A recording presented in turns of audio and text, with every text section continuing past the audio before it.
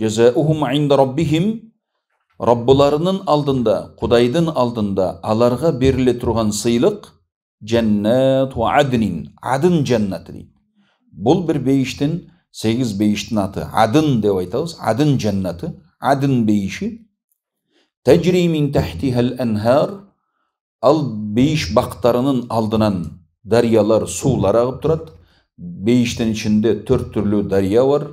Ошондой бейиштин өзүнүн шарабы болот дария болуп акат бейиштин өзүнүн балы болот бейиштин өзүнүн суусу болот бейиштин өзүнүн сүтү болот.